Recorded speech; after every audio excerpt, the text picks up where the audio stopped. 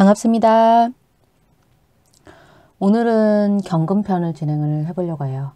낮에 제가 미리 좀 찍으려고 그랬는데 어, 체력이 이것도 매일매일 지금 어, 오늘의 운세 외로 이렇게 하려고 하니까 상당한 집중력이 좀 요구가 되는 것 같아요.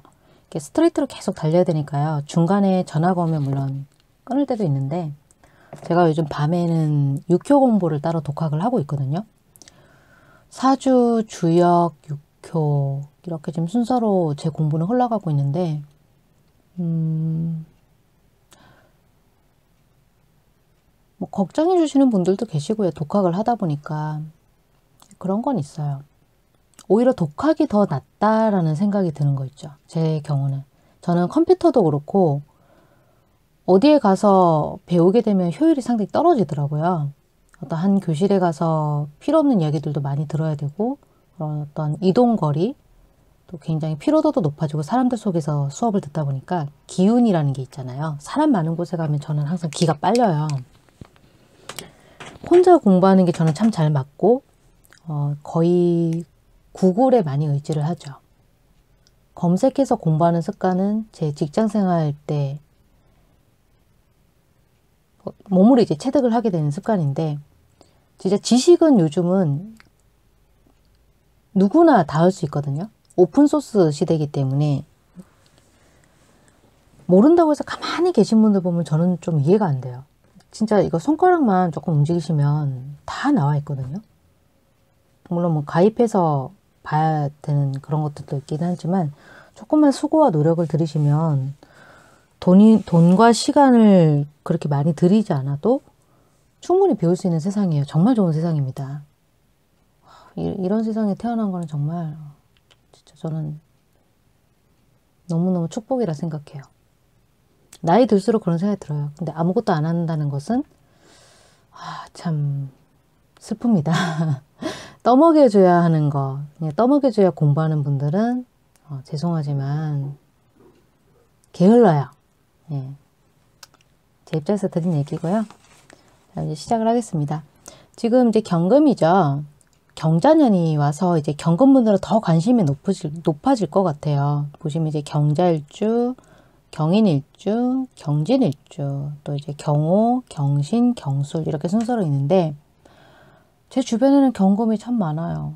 물론 신금도 계시고 경금도 있고 쇠를 가진 분들 혹은 이제 다른 일간인데 이런 쇠를 전형적으로 휘두르는 분들 제 제가 가장 아끼는 친구 저의 best friend 금일간들이 참 많죠. 순수하고 그래서 정이 참 많이 가고 또 이제 오행에서도 토생금 아시겠지만 제가 이제 토일간이다 보니까 이 금일간들에게 마음이 가는 거는 어쩔 수 없어요. 자, 그럼 보, 보, 볼게요. 음. 경자년은 일단 배경 설명부터 좀 intro에서 해드리자면 이거 꼭 들어주시면 좋겠어요. 자기 일간만 이렇게 일주만 딱 보지 마시고 이게 경자잖아요. 종 모양 닮았다 그랬죠. 종교, 철학 이걸 뜻하는 글자예요. 근데 이 경금은 원래 가을에 힘이 가장 왕성하거든요. 지금 제가 적은 것은 신유술. 음 달아드렸어요. 저도 한자 세대가 아닙니다, 여러분. 뭐, 저, 제가 한자를 엄청 많이 아는 것처럼 착각하시는 분도 계시는데, 아니에요. 저, 한문 선생님과 사이 엄청 안 좋았었고요. 그때 정말 미웠어요, 그 선생님이. 네. 학창 시절 때 제가 좋은 선생님을 만난 게 아니기 때문에 어, 선생님 이야기가 나와서 그런데 어릴 때 경험은 정말 잊혀지지가 않아요. 뺨을 막 심하게 맞았던 경우도 있고 저희 시대 때만 해도 그렇죠. 그게 오래전 세대는 아니잖아요. 그게 참 마음에 남아요. 트라우마. 이게 치유가 안 돼요. 어떤 선생님한테 부당한 대우를 받았다거나 좀 심한 체벌을 받았을 경우 요즘 같으면 그거 진짜 신고감이에요. 근데 그게 안 잊혀지더라고요. 저 같은 경우는. 아, 얘기가 왜 나왔지 근데? 어, 자 아, 이 얘기하다 놨죠. 지금 신유술. 한문 선생님 얘기해서 갑자기 막 옛날 걸로 확 뛰어넘었는데, 일단 사설 끊고. 지금 경금이 지금 신유술이잖아요. 이, 이게 가을이거든요. 가을에 가장 왕성해요. 원래 이 경금이라는 글자는. 근데 경자년이 왔어요. 이 자라는 글자는 해, 자, 축. 예, 한자 또 똑바로 안 쓴다고 또 뭘 하실라. 이게 해자축이에요. 이게 겨울이고 이게 이제 물을 뜻하는 계절이거든요. 여기서 자년이란 말이에요. 해에서 병이 들고 사에서 자에서 가치가 없어지고 이제 다 바닥이 나서 인묘 무덤에 들어갑니다. 아이고 잘 안 보이시죠? 조금 내릴게요. 잘 보이시나요? 해에서 병들고 자년에서 가치가 없어져요. 가치가 없어지는 거예요. 이 기둥만 보자면 경금의 가치가 없어지는 해라고요. 경자년은. 그런데 1900년대도 한 번 왔었고 1960년에도 왔었고 이제 2020년에 왔죠. 1960년대 때 이승만 대통령 하야 있었죠. 1900년 대는요. 고한말 시대였죠. 2020년 대는요. 지금 올해죠. 어떤 일이 벌어질까? 뭔가 개혁적인 거, 엎어지는 거 이런 일들이 벌어지지 않을까요? 근데 이제 여기까지는 후천시대가 아니었기 때문에 2020년부터는 후천시대라고 저는 또 하나 또 얘기를 할 수 있어요. 이건 또 이제 다른 얘기인데 역수에서는 선천과 후천으로 또 나누는 이야기가 있거든요. 그거는 잘못하면 또 다른 얘기로 넘어갈 수 있기 때문에 끊겠습니다. 어쨌든 이 경자년은 경금분들이 봤을 때 자기 글자가 하나 더 들어오는 해기 때문에 좀 긴장할 수 있는 해가 되지 않을까 싶어요. 자, 이 경금분들이 봄, 그리고 여름, 그리고 가을, 겨울 이렇게 사계절이 있잖아요.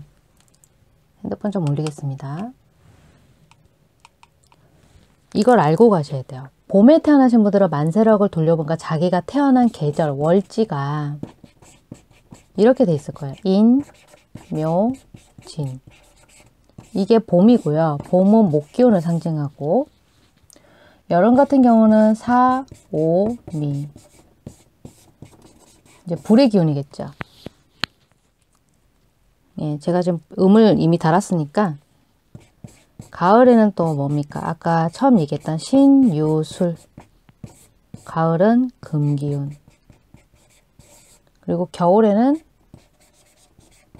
해, 자, 축. 이렇게 수의 기운이 있단 말이죠. 그런데 봄에 만약에 태어났다. 봄에 태어난 경일간이다. 이분들 같은 경우는 지금 목기운을 가지고 태어났기 때문에 가을이 아니라 지금 봄이잖아요. 목화토금수를 돌려봤을 때 이 목의 기운은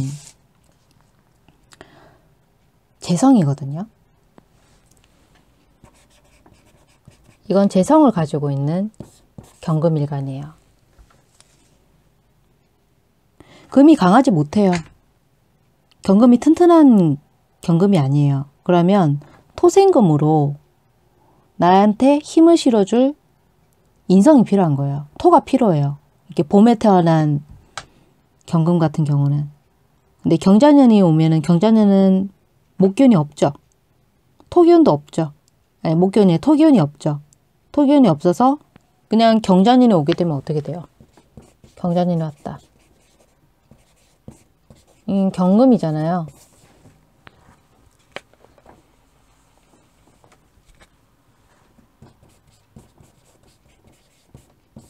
이렇게 경전인이 왔어요. 경금에게.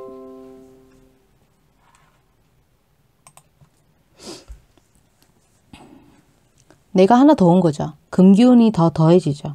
비견이 왔어요. 근데 주변에 내가 화기운이 없다. 다른 글자들만 있다. 쓸데없는 글자들.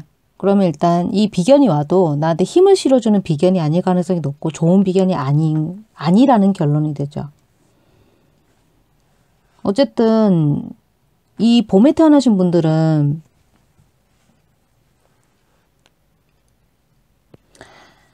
글자가 필요한 글자가 생겨요.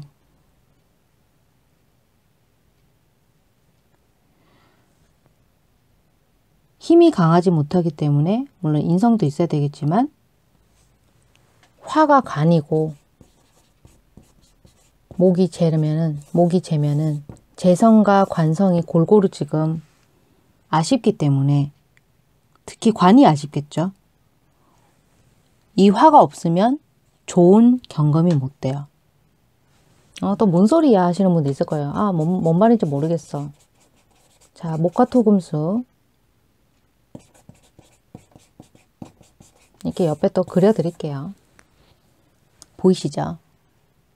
어떤 사주든 간에 이 재성과 관성이 제 역할을 해야만 사회생활을 할 수 있어요. 먹고 살아야 될 거 아니에요. 뭐 유산이 없어도 상관없어요. 재성과 관성만 제대로 갖춰져 있다면 인성이 좀 부족해도 굴러간단 말이에요.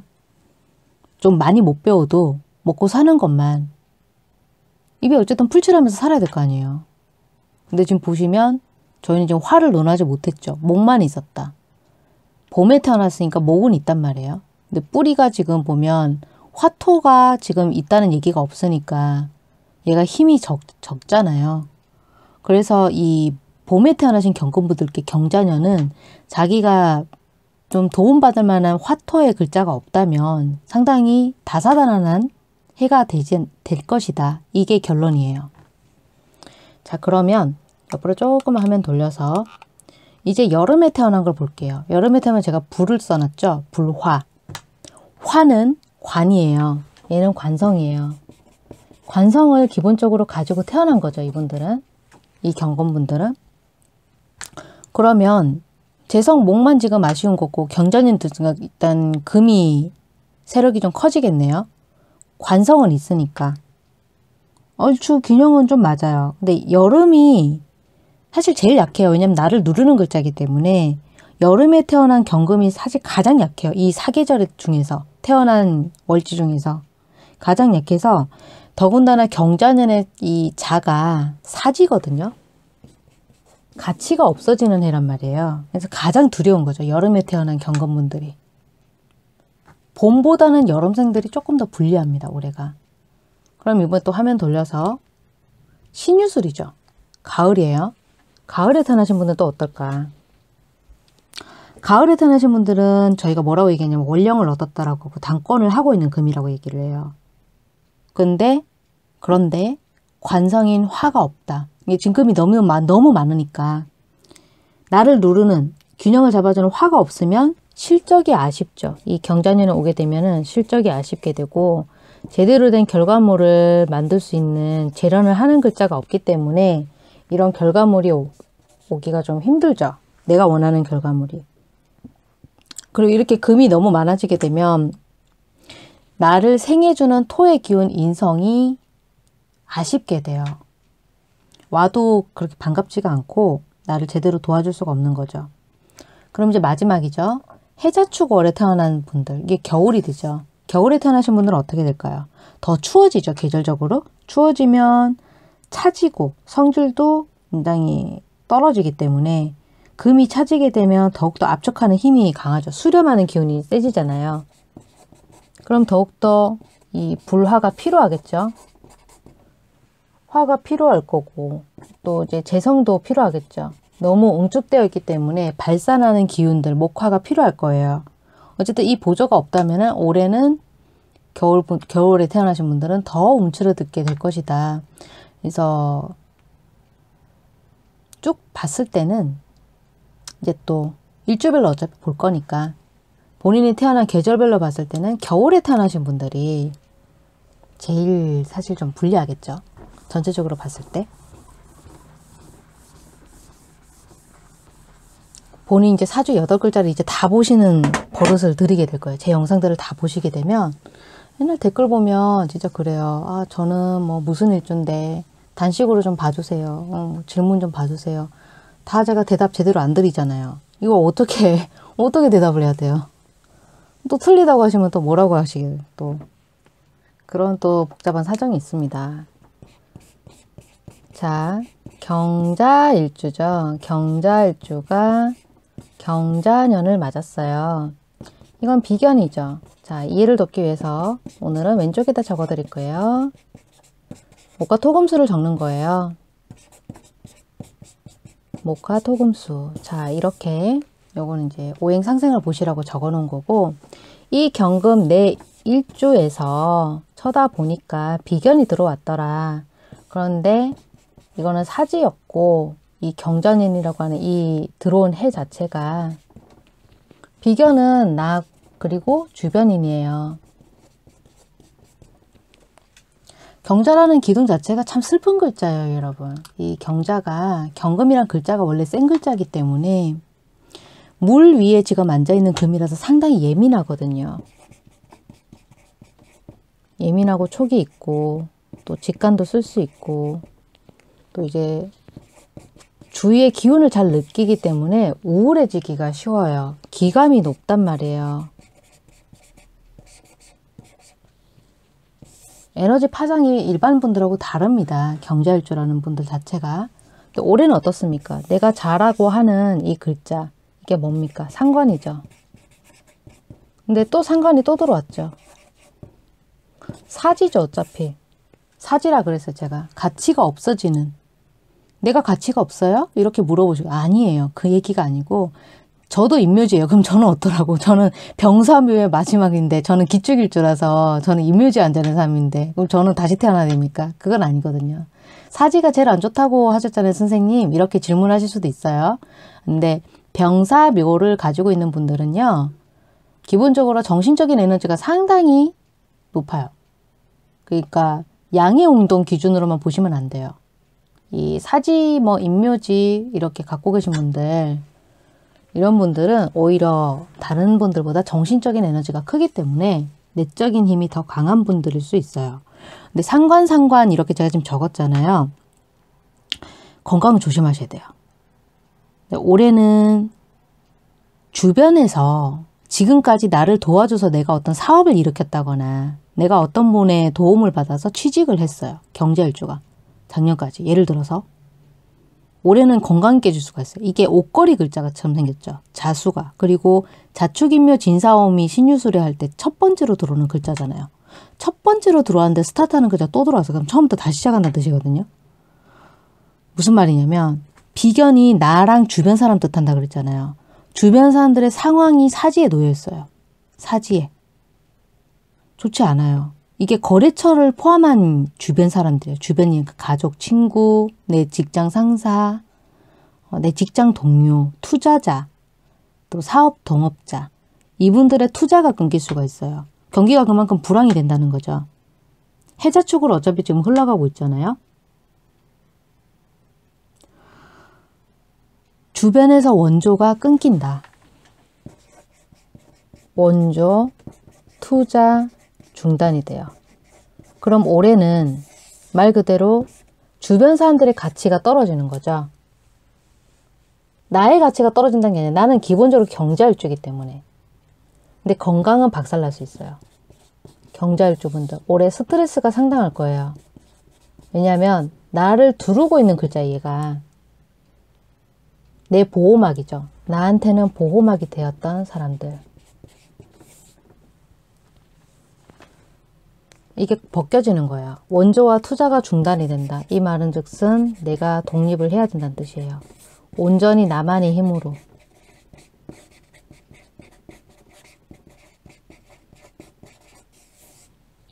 이제 다른 글자들이 있게 되면은 또 상황이 달라요. 그건 댓글로 질문 주지 마시고 개인 상담 신청 주십시오.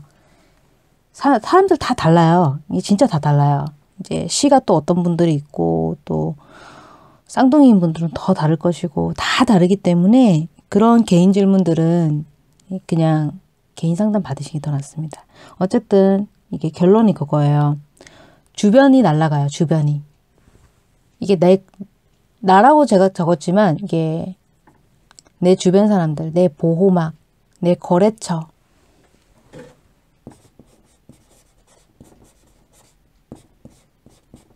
올해는 무너진다. 주변이 무너진다. 그래서 나는 독립할 수밖에 없고 온전히 나만의 힘으로 일어서야 한다. 가는 해죠. 올해는 화이팅 하셔야 됩니다. 올해 뭐 주변을 돌아볼 여유가 없어요. 경찰주 분들 자체가 힘을 내시고 으쌰으쌰 해야 되는 해기 때문에 건강이 깨진다는 얘기도 잘 귀담아 들으시고 꼭 건강검진 받으시고요. 그리고 생활습관 개선하시는 게 좋고 청결에 주의하시고 장염 같은 것도 주의하시고 올해는 이 두 가지만 핵심으로 보십시오. 자 이제 다음 일주 또 넘어가 볼게요.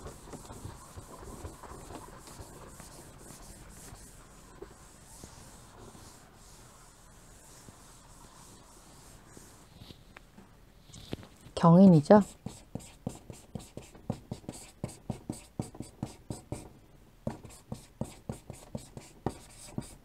자, 비견이 들어온 해고 이렇게 딱 쳐다보니까 인목을 깔고 있어요. 자, 이해를 돕기 위해서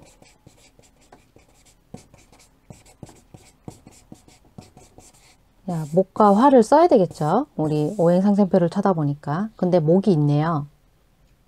그것도. 편제죠. 잇목 속에 뭐가 들었는지 아세요? 불을 품고 있어요. 이 호랑이는. 가장 먼저 떠오르는 게 나중에 오는 간목이고 원령에서 봤을 때 이 간목은 편제. 똑같이. 그리고 이제 병화도 품고 있죠. 병화는 편관이죠. 불이니까 관성이죠. 하나 뭐가 있을까? 여기로 들어온 거긴 한데 이제 무토예요. 무토는 인성이죠. 편인. 이 인목이라고 하는 이 호랑이를 슉 하고 포장지를 벗겨본가 이런 글자들이 있더라. 이렇게 또 볼 수가 있고 지금 자년이라고 하는 게 중요해요. 여기서 포인트는 아 화면 조금 글자가 잘렸죠. 자 이렇게 또 내리겠습니다. 이 자년이요. 발음 잘해야 돼. 자년이. 경금이 이 경인일주 같은 경우는 이게 절지거든요. 뭔 말이냐면 얘는 봄 글자예요. 얘는 뭐예요? 가을 글자죠. 어렵게 설명을 하는데 다른 분들 영상 봐도 반대편 계절이 끝나요. 그러니까 절지라는 거는 이게 봄 글자니까 반대편 계절이 뭐예요? 가을이죠. 봄, 여름, 가을 생각해 보세요. 물과 불이 왜 삼각인지 아세요? 물은 겨울이고 불은 여름이에요. 그래서 여름 되면 겨울의 기운이 절지가 되죠. 끝나, 끝난다는 거예요. 방향을 틀어요. 어, 그건 마찬가지죠. 얘가 왜 절지냐. 가을 글자인데 봄 글자 위에 앉았으니까 그래서 절진 거예요. 근데 지금 보면 자년이죠. 자는 겨울이 가장 왕한 계절이란 말이에요. 해, 자, 축이잖아요. 얘는 겨울 글자죠. 해는 아닙니다만 얘는 겨울 글자란 말이에요. 이해되시나요? 근데 이 자년이 뭐뭐가 끊기는지 방금 제가 힌트 드렸지만 여름 글자가 끝나겠죠. 여름 글자가 절지를 하겠죠. 그게 뭘까요? 정화죠. 정화가 절지가 되고요. 병화 같은 경우에는 이 자년에서 태지가 되거든요. 해자축에서 되잖아요. 해자축. 이 병화는 해에서 절지가 되죠. 해에서 절제가 돼요. 이 병화라고 하는 글자는. 그래서 여기 자년에는 태지가 돼요. 정화가 음간이기 때문에 병화랑 반대라서 이게 절제가 되고요. 그래서 이렇게 이건 지우고 음, 화의 기운을 빌어서 토가 운동을 하기 때문에 정화가 이렇다면 기토도 절제가 되죠. 요거 두 개 굉장히 중요해요. 왜냐하면 저희 지금 신년 운세를 보는 거기 때문에. 정화랑 기토는 뭐가 될까 각각. 화는 관이라 그랬잖아요. 그럼 정화가 뭐예요? 정관이죠. 정관 정화가 절제가 됐다는 얘기고 토는 인성이잖아요. 정인 기토가 절제가 됐다는 거죠. 올해는 나랑 내 주변 사람들, 이 비견이 내 주변인이잖아요. 주변인 또 나를 또 뜻해요. 주변 사람이 이제 가족, 가족이면 형제 되겠죠. 그리고 이제 친구. 이 사람들이 직장에서 상당한 업그레이드가 되는 해예요. 이분들이 올해 왜 그러냐면 자년이 임수와 개수를 개수를 가지고 있는데 얘가 식신이고 개수가 상관이거든요. 음, 지금 보시면 이 글자들이 센데 각각 간목과 개수가 센데 상관이면 이 자년이 상관성이면 직장에서 내가 표현하는 일들이 많고요. 그리고 그 기본적으로 이 갑인일주분들이 편제인 이 간목을 가지고 있거든요. 간목은 위로 올라오는 생기예요. 다른 천간편에서 제 이야기를 들어보시면 알겠지만 간목은 얼어있는 것을 뚫고 올라오는 힘이기 때문에 이 경인일주분들 자체가 뒤로 막 빼고 움츠러드는 스타일이 아니거든요. 적극적으로 나서는 스타일이에요. 그래서 올해는 경자년이 와서 맑은 물이 들어오다 보니까 수생목이 되는 거죠. 요렇게 이 경자년이 들어오면서 수생목의 기운으로 인해서 긍정적이고 굉장히 기쁜 일이 생기는 거예요. 직장에서 꼭 승진이 아니더라도 커리어에 도움이 되는 일이 생기고 내가 원했던 잡을 할 수 있고 어, 내, 내가 지금 직급만 높지 사실 이게 영양가 있는 나의 일이 아니었다. 내가 행복해하는 일이 아니었다 하시면 올해는 직장에서 상당한 파워를 뽐낼 수 있을 거예요. 어, 너무너무 좋은 운이죠. 그래서 경인일주 분들은 올해 이 목 자체가 제가 아까 화가 관성인데 화가 절지라 그랬잖아요. 이게 안 좋은 게 아니고 절이라는 건 방향을 트는 거예요. 관성이 방향을 트는 거예요. 관성이 방향을 튼다는 것. 거기다가 자녀는 지금 이 화가 방향만 트는 것이 아니라 목기운의 이 간목 속에 있는 이 간목, 간목 편제 입장에서 볼 때는 이게 또 목욕지가 돼요. 욕지가 되거든요. 이게 간목, 이게 간목 입장에서 딱 봤을 때 그자 좀 많아서 좀 정신이 없으실 텐데 내가 그동안 무채했었다면 드디어 본무대에 오르는 해가 돼요. 굉장히 디테일하게 나오죠. 지금 제가 말씀드린 거는. 한 사람이 어떤 만세력을 까본 것도 아니지만. 일적으로 상당히 좋아요. 또 여성분들은 이게 이제 관성이 튼다고 했으니까 애정운이나 또 결혼하고 싶은 나만의 짝 이성운 네, 이런 쪽에서도 굉장히 좋은 소식이 있을 수 있어요. 결혼을 발표하시거나 약혼을 발표하신다거나 이렇게도 볼 수 있습니다. 근데 요즘은 결혼이 워낙 이제 좀 드물어져서 여성분들 입장에서 얘기를 할 때도 관성이 방향을 틀었다는 것은 거의 일적으로 설명을 드릴 수밖에 없을 것 같아요. 이게 뒤에 이제 제가 나이를 먹으면 먹을수록 사주 명리도 변해야 된다고 생각이 되거든요. 결혼은 선택이기 때문에 무조건 관성을 남자운으로 본다. 이거는 좀 아니고 이거 그냥 직장운으로 많이 쓰시더라고요. 저도 그렇지만. 음, 그래서 아마도 올해 원하는 곳에 취업을 하신다거나 또 이제 합격을 하신다거나 시험에서 또 승진에서도 상당히 긍정적인 결과를 보실 가능성이 높습니다. 자 그러면 이제 또 다음 경진일주로 넘어가겠습니다.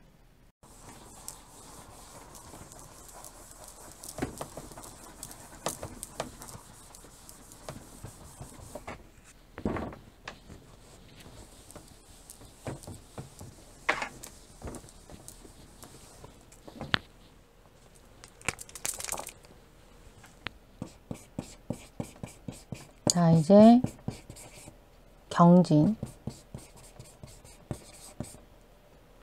넘어왔죠? 경진일 줄 할게요.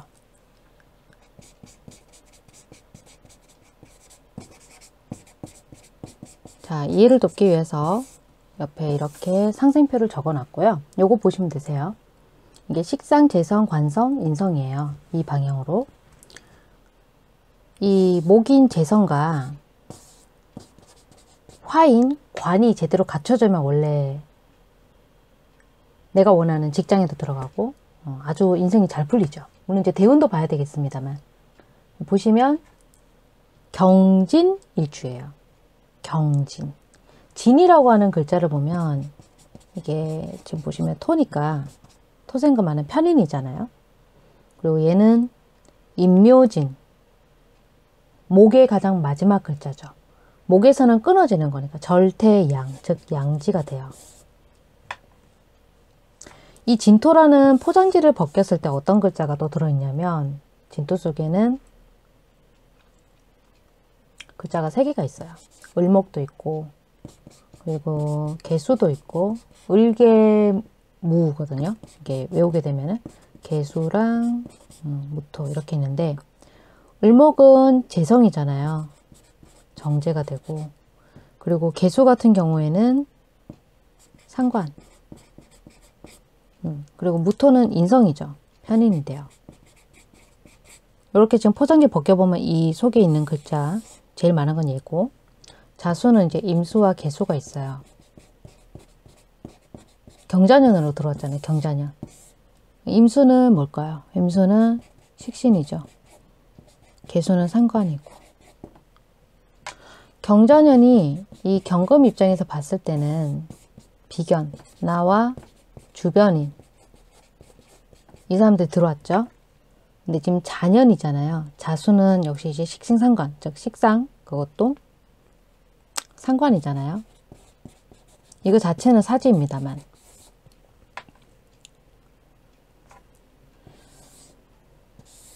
이 겉에 있는 포장지 끼리도 자진이라고 해서 얘가 수의 운동, 즉 식상 운동이 일어나요. 그런데도 불구하고 여기 좀 보시면 포장지 끼리도 무게가 서로 모여서 합이 돼요. 이거 암합이라고 하고요. 뭐 암합을 볼 필요도 없겠지만 일단 암합만 봐도 얘네 둘은 합쳐서 무게 합화. 화는 관의 운동이죠.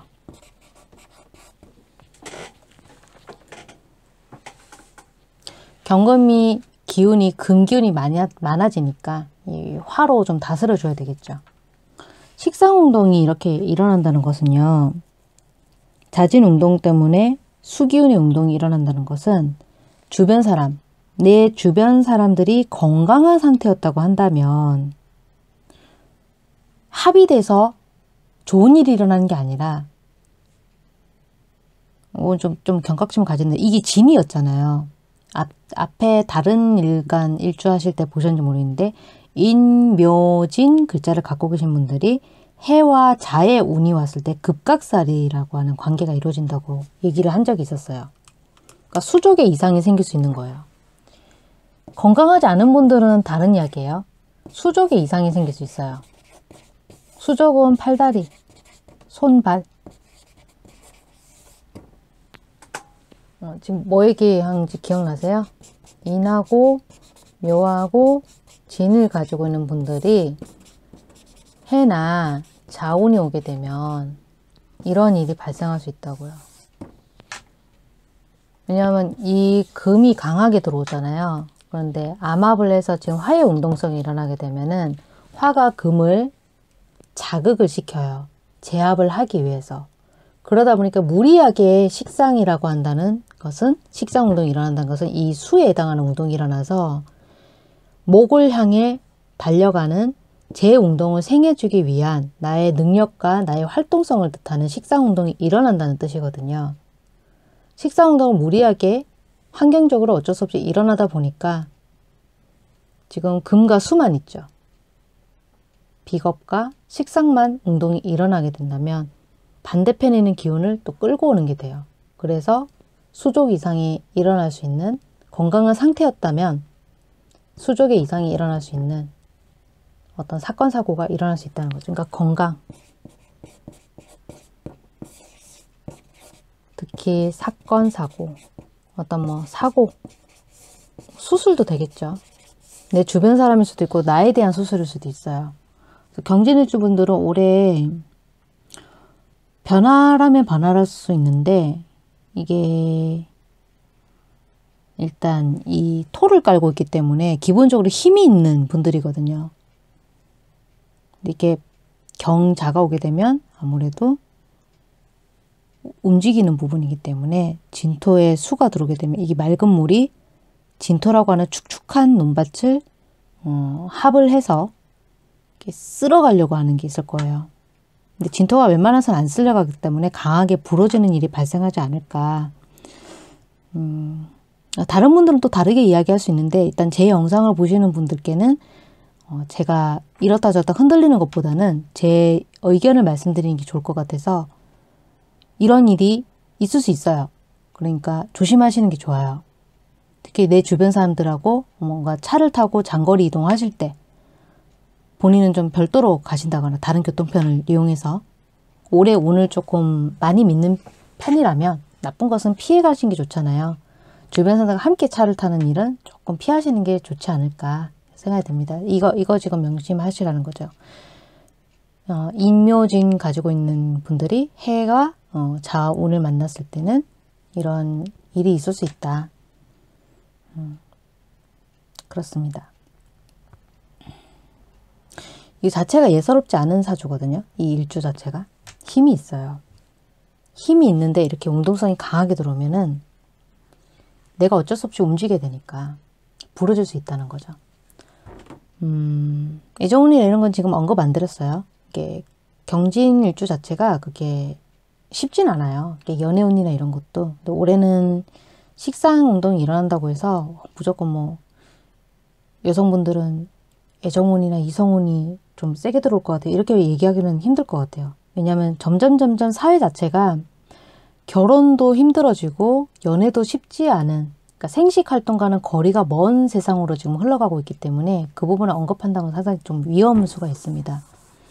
그러니까 각자의 판단과 선택에 맡기겠습니다. 사주가 다는 아니니까요.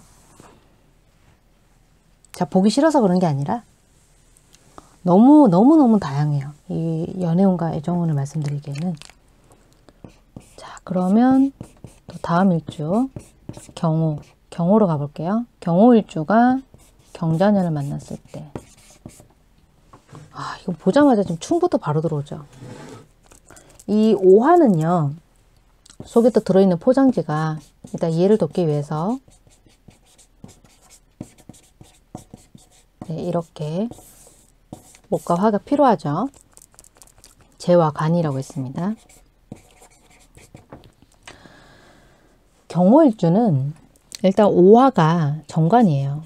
정관을 깔고 있는 거죠. 그리고 이 자체는 사오미의 글자이기 때문에 목욕지라고 하는 환경이 되고요. 근데 자는 사지라 그랬죠. 얘는 상관이고. 올해 자오충이 일어났어요. 이 오화 속에는 글자가 포장지를 슉 벗겼을 때 병화도 있고 병화는 이제 편관이에요. 음, 그리고 병화, 아, 그렇죠. 기토 있을 것이고 또 정화가 있죠. 기토는 정인이고 정화는 정관이죠. 이렇게 글자가 있는데 요거는 임수와 개수가 있고 식신이고 상관이 있어요.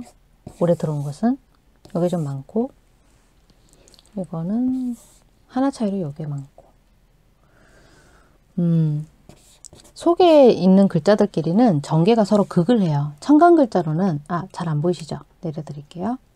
청강 글자끼리는 서로 강해서 극을 해요. 얘는 불이고 얘는 물이에요. 좌우충, 특히 정관이란 말이죠. 여기 있는 글자가 정관이라는 것은 여성분들 입장에서는 나의 배우자예요. 그리고 배우자 자리이기도 하고 남자분들은 다르죠. 이게 배우자 자리이긴 하지만 정관은 남자분들 입장에서는 배우자 글자는 아니란 말이죠. 자식에 해당이 되죠. 어떻게 보면 자식은 생시에 있는 거기 때문에 이 자리는 아니잖아요. 올해 그런데 이게 배우자 자리다 보니까 정관이라는 글자를 보지 마시고 이 오가 지금 들어가 있는 자리가 내 배우자 자리니까 이 배우자 자리하고 운으로 들어온 이 자라는 것은 상관이기 때문에 좌우 서로 충을 해요. 충을 하게 되면 얘랑 얘랑 충한다는 뜻이에요. 옆에서 보시면 배우자와의 일에서 크게 어떤 변화가 들어와요. 별거를 하시게 된다거나 주말 부부처럼 갑자기 직장 문제로 떨어지게 된다거나 아니면 이제 이 이게 비견이거든요. 이 경금이 비견이에요. 비견인데 비견은 내 가족, 나, 친구, 가족이라면 이제 형제, 자매도 되죠. 올해가 경자년이란 말입니다. 이분들, 이 친구, 자매, 나와 한솥밥 먹는 사람들과의 관계가 대폭 물갈이가 되는 해라고 보시면 돼요. 경자년이란 것 자체가. 내 배우자도 그렇지만. 부인의 집에 지금 뭔가 그 따로 사는 게 아니라 그걸 뭐라고 하죠? 대리 사이처럼 같이 사시는 분, 남자분들 중에서 그런 분들도 올해 뭔가 변화가 있을 수 있어요. 나가서 살아야 하는 일이 생길 수 있어요. 하반기에 생길 수도 있고 여름에 생길 수도 있고 극한단 말이에요. 속에서. 겉으로도 충을 하지만 속에서도 지금 보시는 것처럼 정계 극을 하잖아요. 그래서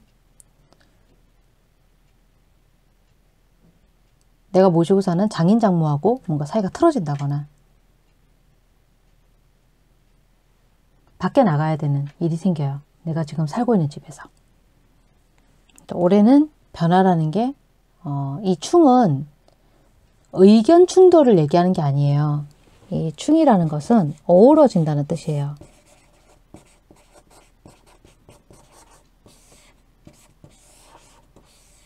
나가서 더 사이가 좋아질 수도 있죠. 혹은 꼭 나가서 산다기보다는 어떤 의견 조율을 통해서 더 좋은 집으로 업그레이드가 될 수도 있고 또는 어떤 이사를 또 갈 수도 있고 더 좋은 환경으로 그런 일들이 벌어질 수가 있겠습니다. 미혼인 분들 같은 경우에는 올해 좀 드물어요. 내 올바른 짝을 만나기가 연애운은 좀 어둡습니다. 아, 좀 자세히 보고 싶으신 분들은 이거는 개인적으로 자기 사주를 다 뜯어봐야 돼요. 일단 이 일주만으로 제가 보는 거기 때문에 또 어떤 일이 벌어질지. 근데 제가 볼 때는 금기운이 더해지는 부분이라서 연애운은 다른 글자들의 받침이 없으면 좀 힘들어져요. 자, 그러면 경호까지 했고요.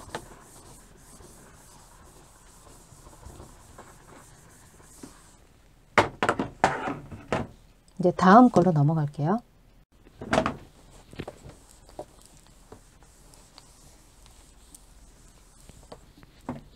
자, 이제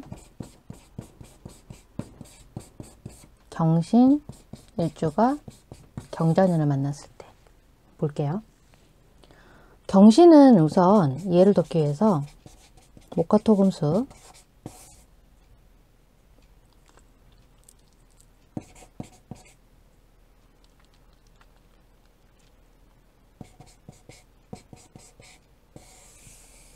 음, 예쁘게 그려졌을까요? 어, 어, 맞네요. 예쁘게 그려졌네요.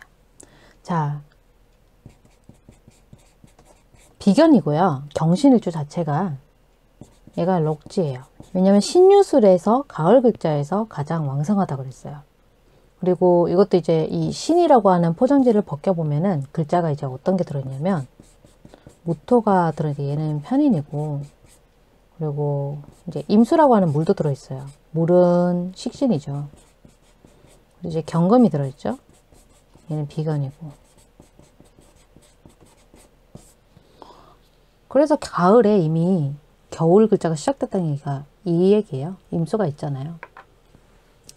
자, 이런 글자들이 들어있고 음, 얘는 또 이제 임수와 기수가 있죠. 얘는 식신이고 얘는 상관이고 얘가 많이 들어있죠.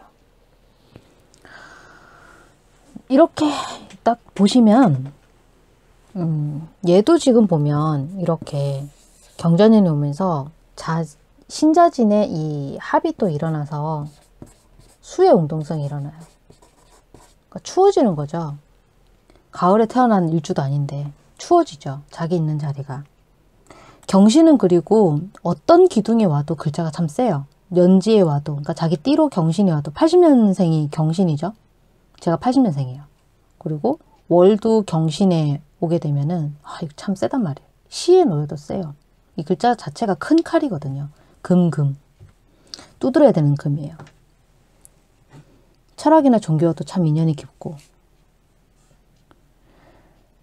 이 수의 운동성이 일어나게 되면 요 자리가 식상의 자리인 수의 글자인데 내 환경, 내 머리는 금이 더해지고 내 주변 사람들, 나와 내 주변인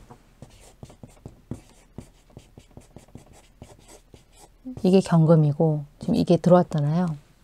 근데 수가 이제 식상이니까 식상을 움직이는 거예요. 재성을 위해서. 내가 다음으로 가야 될 자리가 재고 재는 경제활동이죠. 얘는 식상이에요. 재주란 말이에요. 능력. 식상이라는 것 자체가.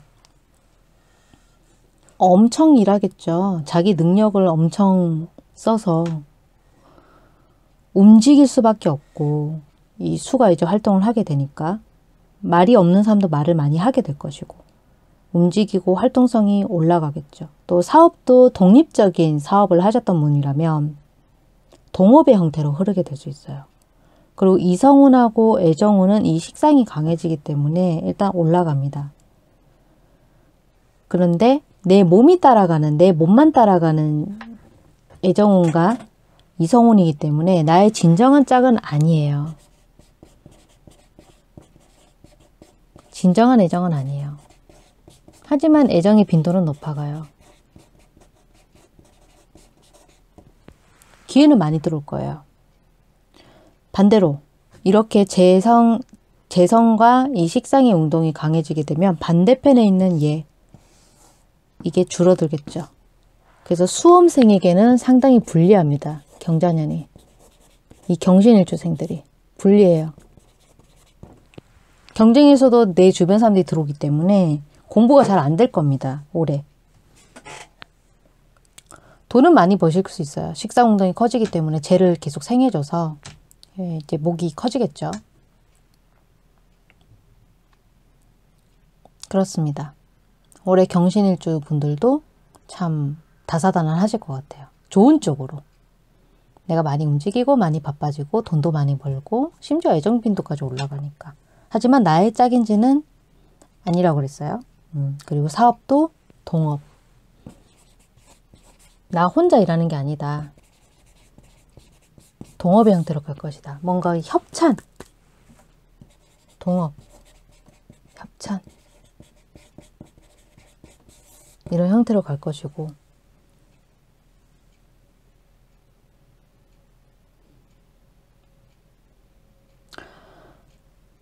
금이 그만큼 들어오더라도 이 수의 웅덩이 세지면 수가 금의 웅덩을 뽑았어요. 그래서 나에게 실질적인 소득은 없습니다. 그냥 바쁘기만 바쁜 거죠. 올해가.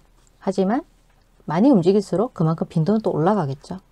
양과 그런 득실이 있으니까 올해 경건분들은 그 중에서도 경신이 좀 승부수를 띄우지 않을까 싶어요. 자, 그럼 이제 마지막 일주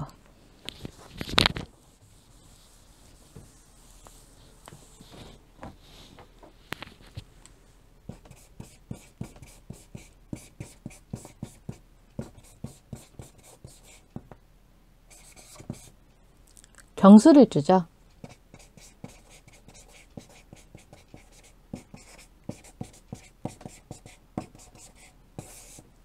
지금 보시면 이게 상생표고 잘 그려졌나요? 음. 이 술은 인성이죠. 편인이고 경술일주가 술토가 신유술이잖아요. 신유술이라서 이게 쇠지가 되고요. 술토라는 이 보일러 글자라고 제가 참 자주 얘기를 하는데 이 글자도 이제 까보게 되면은 신, 정, 모 신금은 겁재가 되고 정화는 정관이 되고 무토는 편인이 돼요. 네, 그럼 이제 경자년의 자는 임수와 개수가 있는데 얘는 식신이고 얘는 상관이 되죠. 이게 많이 들어있고 얘는 이게 많이 들어있고 무게 암압이 되죠. 서로 만나게 되면 화의 운동으로 변합니다. 즉 관의 운동으로. 어, 뭔가 느낌이 좀 좋지 않아요? 이게 관이잖아요, 관. 이거 글자.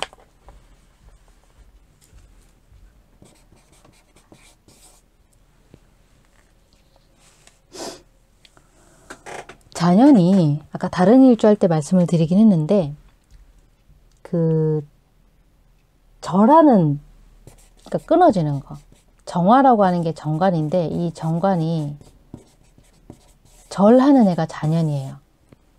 정관이 절을 해요. 넙죽 엎드린 절 말고 끊어지고 방향을 바꾼다고요. 내 직장 변동이 커지는 애예요. 이게 비견인데 내가 될 수도 있거든요. 내 주변 사람도 될 수 있고 형제 자매 다 포함한 거예요. 그리고 또 올릴게요. 잘 보이시죠? 형제 자매도 될 수 있고 이 주변인은 그리고 나를 뜻하는데 직장 변동이 커질 수가 있는 해예요. 왜냐하면 지장간끼리 지금 관의 운동이 일어났죠. 화. 그리고 이게 어떤 나의 의도로 움직인다기보다는 주변 환경이나 상황 때문에 이직을 하신다거나 병가를 내신다거나 너무 힘들어서 내가 쉬고 싶어서 또는 이제 퇴사를 하게 될 수도 있고 이 화의 운동으로 인한 단련, 트레이닝의 해가 될 수 있어요. 그래서 결실을 내가 올해 어떤 결실을 꼭 봐야 되겠다. 그거는 좀 어렵고 다음 해를 준비하는 해가 될 수 있습니다. 경술일조 분들은. 원래 경술일조 자체가 좀 깡이 있기 때문에 이 편인은요. 이 무토 편인을 지금 품고 계시고 또 정화 정관을 품고 있어서 단단해요. 사람들이. 그리고 편인은 쉽게 속지 않아요. 기본적으로 의심하고 든단 말이죠. 그래서 올해 뭔가 얻기보다는 내가 많은 것을 준비하고 배우러 다니시고 공부를 하시는 해가 될 확률이 높아요. 물론 이제 식상 운동이 지금 세지죠. 식상은 세지는데 어, 다른 경금들도 마찬가지겠지만 이 경일관 분들께서 올해는 준비하시고 변화를 겪고 또 다른 데 가서 또 적응하시고 그런 일을 삼으셔야 될 것 같아요. 직장 변동도 생길 수 있지만 적응하는 해다. 배워야 하고 내 재주를 많이 펼쳐야 하니까. 근데 결실은 좀 떨어져요. 다음 해를 준비하셔야 됩니다. 자, 이렇게 마지막 일조까지 진행을 해봤고요. 경술일조분들 애정운을 여쭤보신다면 정말 죄송한 얘기지만 예, 올해는 식상운동만 일어난다고 해서 애정운이 제 어떤 결과를 보기는 좀 어려울 수 있습니다. 예, 화나 어떤 토에 글자가 있는지를 살펴봐야 하기 때문에 이 부분은 제가 이야기에서 빼겠습니다. 새해 복 많이 받으시고요.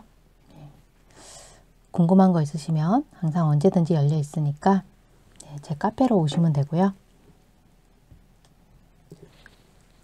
너무너무 고생 많으셨어요. 기해년 때 고생도 많으셨고 물론 무술년에도 고생 많으셨겠지만 기해년에도 고생 많으셨고 이제 또 경자년에도 해자축에 이 수기운이 강한 가운데를 지금 걸어가고 계시기 때문에 경일관 분들이 쉽지는 않으실 거예요. 그래도 힘내시고 제가 오늘 다른 커뮤니티에 올렸던 글이 하나 있어요. 그게 뭐냐면 현재가 미래다라고 하는 글이거든요. 굉장히 좋은 글이죠. 자, 전문을 한번 읽어드리면은 음, Essential Reiki라는 책 중에서 나왔던 구절인데 다이앤 스타인이라는 작가가 지은 거예요. 과거를 변화시키고 그런 변화를 현재로 가져오면 미래도 바꿀 수 있다. 현재 순간은 현재가 되기 전에는 모두 미래였다. 그리고 시간이 지나면 그것은 모두 과거가 된다. 과거의 사건을 변화시키면 현재와 미래 또한 변한다. 이것은 도미노 효과를 일으켜 대단히 좋은 결과를 낳을 수 있다. 이번 생이나 전생의 트라우마에 대한 시각화를 변화시킬 때 그 변화들은 당신의 현재나 미래의 일부가 되기 원하는 것들이라는 점을 잊지 말라. 긍정적인 방법들로만 새로운 해결책을 만들고 오직 긍정적인 대안들로만 시각화하라. 직접적이거나 원격으로 마음 힐링 작업을 하고 있는 사람들은 모든 시간은 현재다 라는 것을 알게 된다. 네, 이런 구절이었습니다. 참 멋있지 않습니까?